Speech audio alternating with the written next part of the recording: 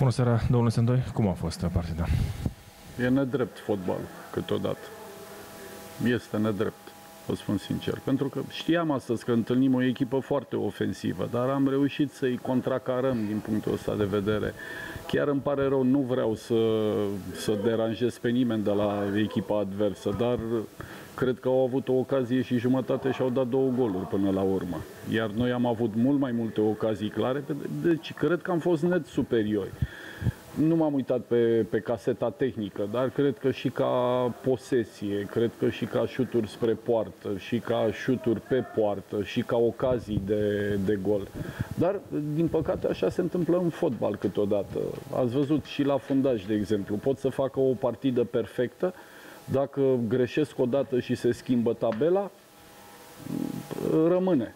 Lumea nu uită. Da? Ehm, da, am avut situații multe de, de a marca și am dominat jocul.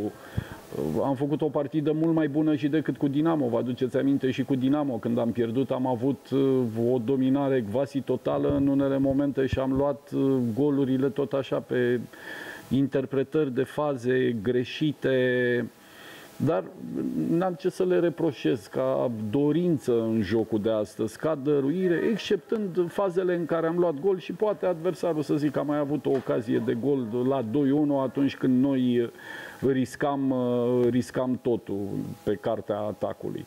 Dar în rest, am zis, nu cred că am făcut o partidă, o partidă proastă. Din, din păcate pentru noi, rezultatul final nu ne avantajează. Știți cum mine vorbeam cu Daniel Florea mai devreme, spunea că astăzi poate Chindia a pierdut un meci, așa cum altă dată câștiga și că poate discursul dumneavoastră de astăzi a fost uh, similar cu discursul unor alți antrenori pe care i-ați învins dumneavoastră, când Chindia era o echipă care nu era egalată atunci când conducea. Da, dar să vă spun ceva, e o diferență, pentru că noi atunci când câștigam, adversarul nu-și crea nicio ocazie de gol.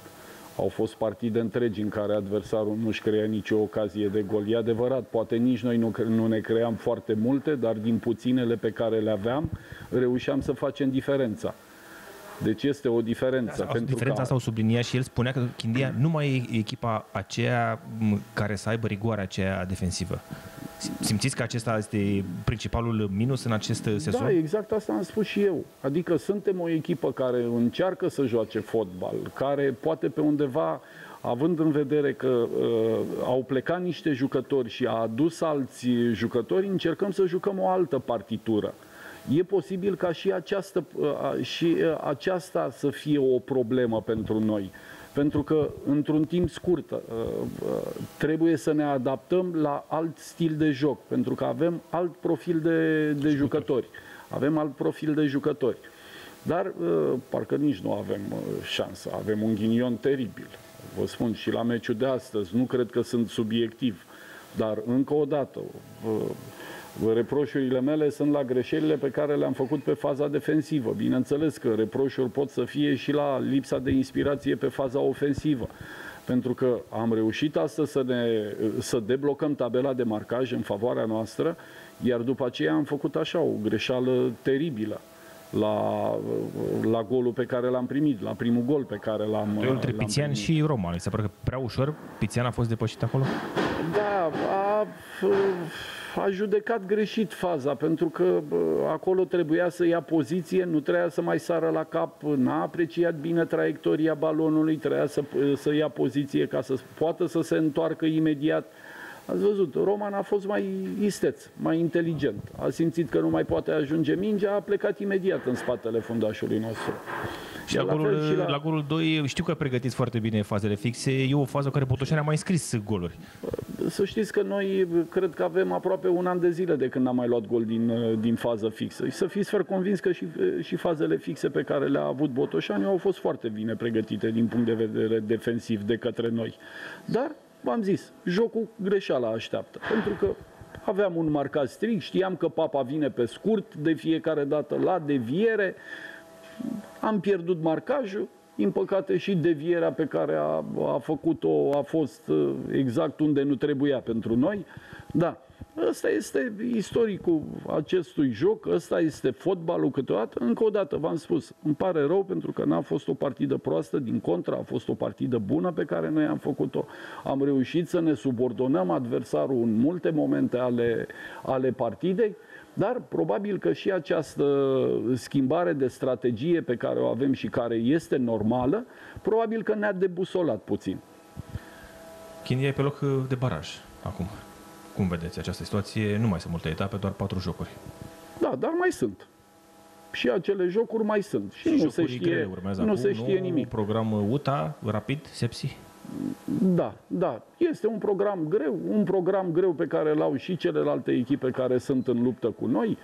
Am pierdut astăzi un, un pas important pe care puteam să-l, să-l facem și v-am zis, îmi pare rău pentru că am fi meritat, eu cred că am fi meritat victoria, nu cel puțin un uh, rezultat de egalitate, dar sperăm să o facem în partidele care urmează.